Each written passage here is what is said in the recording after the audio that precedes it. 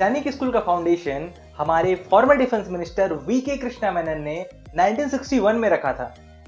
मेनन का गोल स्टूडेंट्स को आईएनए और एनडीए में एंट्री के लिए मेंटली और फिजिकली प्रिपेयर कराना था। पूरे इंडिया में आज टोटल 33 सैनिक स्कूल्स हैं। सैनिक स्कूल को मैनेज करती है सैनिक स्कूल सोसाइटी जो कि मिनिस्ट्री ऑफ़ डिफेंस एमओडी के अंदर आती है। Rashtriya Indian Military College RIMC से इंस्पायर्ड होकर ही सैनिक स्कूल की स्थापना की गई थी। Sainik school Lucknow was the first ever Sainik school established in India Sainik school का मेन टारगेट स्टूडेंट्स को ऑफिसर बनने के लायक बनाना है।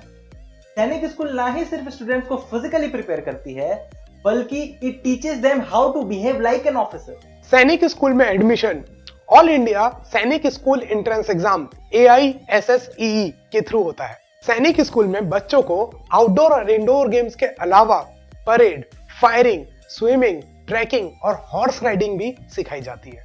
लड़के और लड़कियों में कोई फ़र्क नहीं है।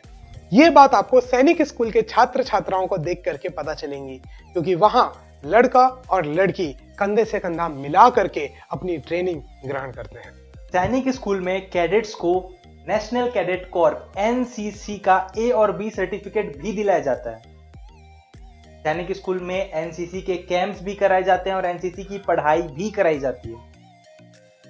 कैडेट्स का स्कूल ड्रेस खाकी ड्रेस होता है, ताकि बचपन से ही स्टूडेंट्स आर्मी की इंपॉर्टेंस और प्राइड को समझ सकें। फरवरी 2021 में अपने फाइनेंस मिनिस्टर निर्मला सीतारमन ने 100 नए सैनिक स्कूल बनाने का अनाउंसमेंट किया है।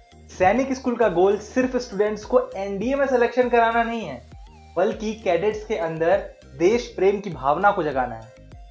सैनिक स्कूल सिर्फ़ सोल्जर्स नहीं बनाता है लीडर्स क्रिएट करता है, और यही लीडर्स चाइना और पाकिस्तान को उनकी औकात दिखाते हैं।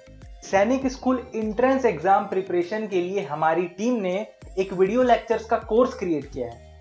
ये course pen drive Google drive और ऐप में भी अवेलेबल है।